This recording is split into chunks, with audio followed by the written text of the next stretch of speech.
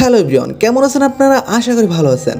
Guys আজকে আমরা এমন একটি মুভি এক্সপ্লেন করব, যেখানে আপনারা দেখতে পাবেন, মানুষ শুধুমাত্র কিছু টাকার জন্য এবং ফেমাস হয়ে লাইক ভিউ পাওয়ার জন্য মানুষ মানুষকে কতটা বাজেভাবে টর্চার করে মেরে ফেলতে পারে, সেটাই দেখতে পাবেন আজকের মুভি এক্সপ্লেনে তাই ভিডিওটি সম্পূর্ণ দেখতে থাকুন, অবশ্যই ভালো লাগবে। কিন্তু গাইজ ভিডিওটি দেখার আগে আপনাদের কাছে ছোট্ট একটি রিকোয়েস্ট আপনি যদি আমাদের চ্যানেলে নতুন হয়ে থাকেন, তাহলে আমাদের চ্যানেলটি সাবস্ক্রাইব করে রাখুন। এরকম হরর থ্রিলার মুভিগুলোর এক্সপ্লেন সবার আগে পেতে। তো চলুন গাইজ শুরু করা যাক। মুভিটির শুরুতে আমরা একজন মহিলাকে একটি অন্ধকার রুমে বাধা অবস্থায় দেখতে পাই এবং একজন মার্কসম্যানকে হাতুড়ি নিয়ে ওই মহিলার কাছে আসতে দেখি। ওই মার্কসম্যান তার হাতুড়ি দিয়ে খুব বাজেভাবে ওই মহিলাকে মেরে ফেলে। কিন্তু সেখানে আরও একজন ছিল, যে দেয়ালের ছিদ্র দিয়ে সব কিছু দেখছিল। পরের দিন অন্য এক শহরে আমরা এলিসা নামের একটা মেয়েকে দেখতে পাই। এলিসার বারবার বমি হচ্ছিল। তার মা তাকে হসপিটালে যাওয়ার পরামর্শ দিলে সে তার মাকে থ্যাংক ইউ বলে কলটি কেটে দেয়। কিছু সময় পর সেখানে ফেব্রিস সোফিয়া, মার্ক এবং রিকার্ডো আসে। এলিসা ওদের গাড়িতে বসে পড়ে এবং সবাই সবার গন্তব্য উদ্দেশ্যে রওনা দেয়। রিকার্ডো এখানে ডাক্তার ছিল এবং সে তার একজন পেশেন্টকে দেখতে যাচ্ছিল। মার্ক এবং সোফিয়া দুজন কাপল ছিল আর ফেব্রিস ওদের ড্রাইভার ছিল। খুব জলদি এলিসা ওদের ফ্রেন্ড হয়ে যায় এবং তারা সবাই এক নির্জন রাস্তা দিয়ে সামনের দিকে যাচ্ছিল। তখন এলিসার রাস্তায় থাকা একটি বোর্ডে কালো দাগ দেখতে পায়। কিন্তু বাকিরা সেই বিষয়টা খেয়াল করে না।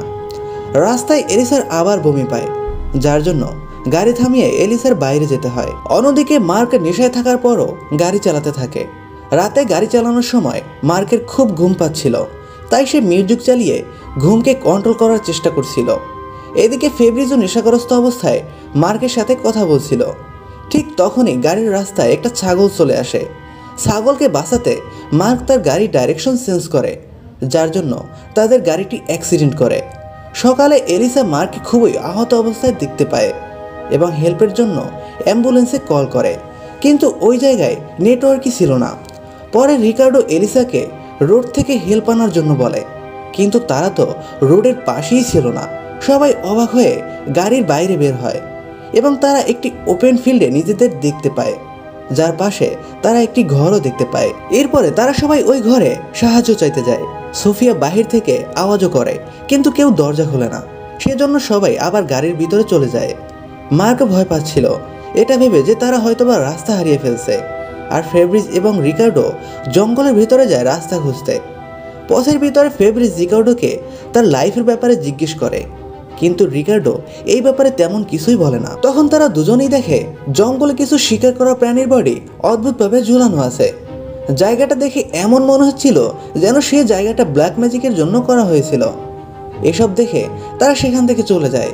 এদিকে এলিসা ওই ঘরে ঢুকে পড়ে এবং ঘরটাতে অদ্ভুত অদ্ভুত জিনিস রাখা ছিল এবং একটা রুমে কিছু পেন্টিংয়ের সামনে ক্যান্ডেল জ্বালানো ছিল। বাকি সবাই ঘরে ঢুকে পড়ে, এই সব কিছু দেখে ফেলে।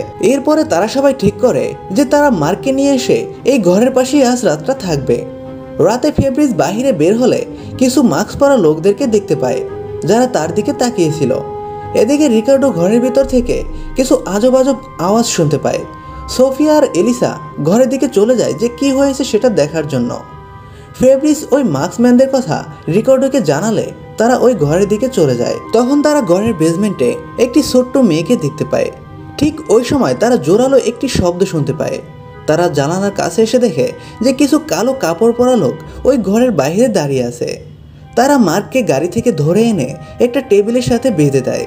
এরপরে একজন লোক মাস্ক পরে হাতুড়ি নিয়ে আসে এবং ওকে খুব বাজেভাবে পিটিয়ে মেরে ফেলে এবং তার চামড়া তুলে সেটা নিজেই পরে ফেলে। তারপর আবার সেই জোরালো শব্দ হলে তারা সবাই মার্কের ডেড বডি নিয়ে সেখান থেকে চলে যায়।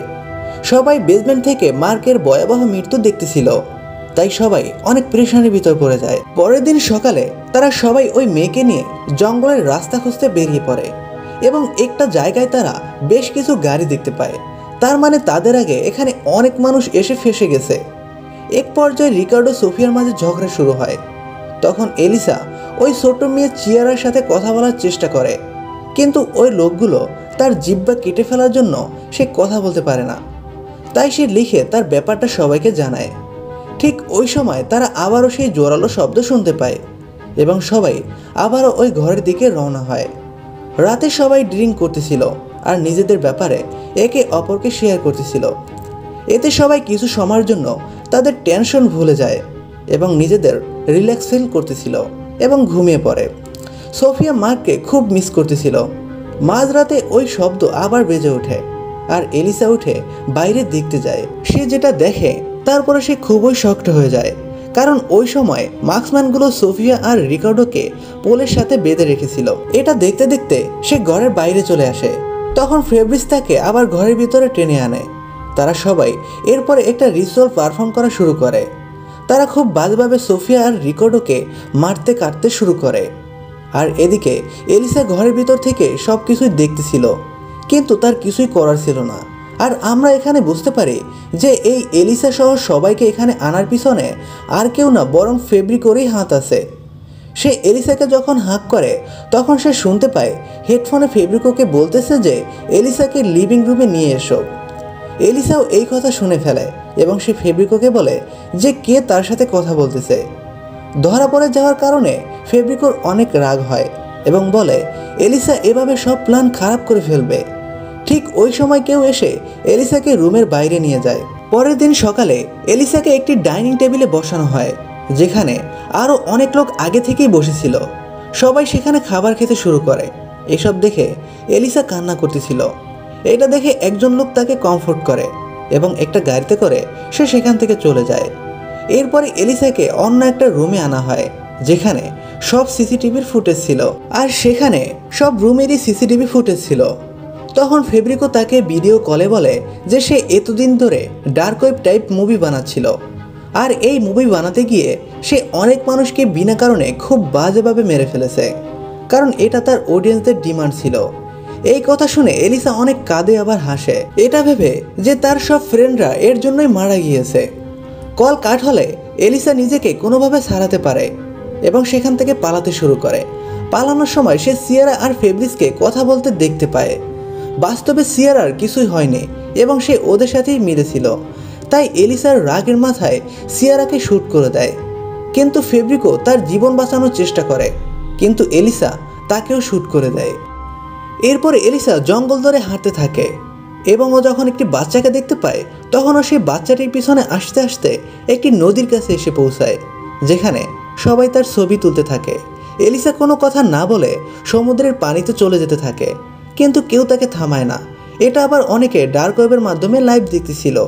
আর এই মুভিটির নাম ছিল ব্লক ফিক্স। সেখানে মানুষগুলো এলিসাকে না বাঁচানোর কারণ হচ্ছে, তারা নিজেরাই ডার্ক ওয়েবে এই মুভিটি দেখতেছিল, যার জন্য ওরা এলিসাকে বাঁচায় না।